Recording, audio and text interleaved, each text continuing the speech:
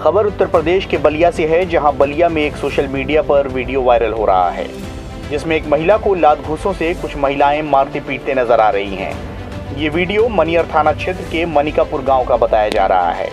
वहीं अपर पुलिस अधीक्षक बलिया का कहना है कि मनियर थाना क्षेत्र के मनिकापुर गाँव का एक प्रकरण सामने आया है, जिसमें आपस में कुछ महिलाओं में विवाद था। इस संबंध में मनियर थाना में उचित धाराओं में अभियोग पंजीकृत कर दिया गया है। और जो लोग भी मारपीट में शामिल हैं उनके विरुद्ध कठोर कार्रवाई की जाएगी। फ़िलहाल अभी चार लोगों के खिलाफ नामजद तहरीर पड़ी है। आगे पुलिस इस मामले में कार्रवाई में लगी है। मनियर के मानिकपुर गाँव में एक प्रकरण सामने आया है जिसमें कुछ आपस में महिलाओं में विवाद था। इस संबंध में थाना मनियर पर उचित धाराओं में अभियोग पंजीकृत किया गया है और जो लोग भी मारपीट में शामिल हैं उनके विरुद्ध कठोर कार्रवाई की तो सर कितने लोगों पर मुकदमा दर्ज हुआ है?